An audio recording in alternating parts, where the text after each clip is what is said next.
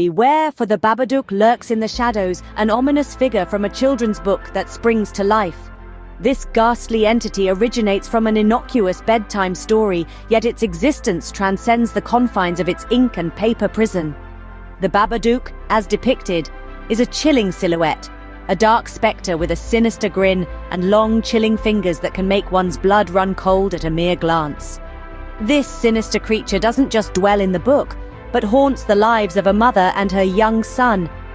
Its presence is a cold breath on the nape of the neck, a whisper in the dark, a feeling of dread that hangs heavy in the air. The very mention of its name sends a shiver down the spine, hinting at an impending doom that's as palpable as the fear it instills. And so, the Babadook, once merely ink on a page, breathes in our world, its sinister purpose yet unknown. As the sun sets, the terror begins. The Babadook, no longer confined to the pages of a book, begins its reign of fear. In the quiet of their home, a mother and her son find themselves in a terrifying dance with this unseen yet ever-present threat.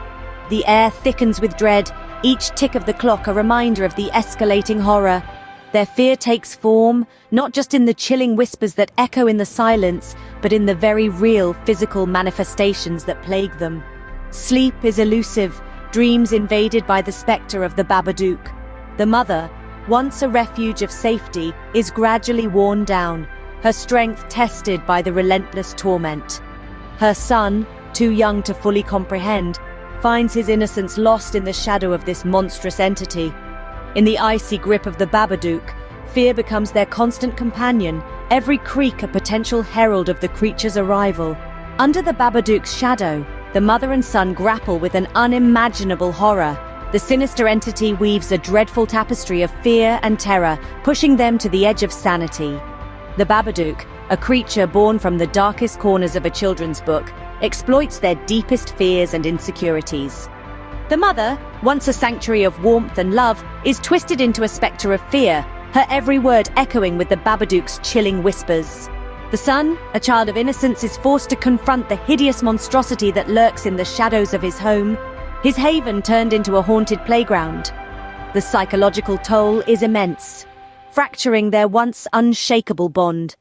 Every creak, every whisper, every fleeting shadow fuels their paranoia, their reality distorted and manipulated by the Babadook's malevolent presence. In the face of the Babadook's relentless terror, they find themselves questioning their sanity, their reality distorted by the monstrous figure from the children's book.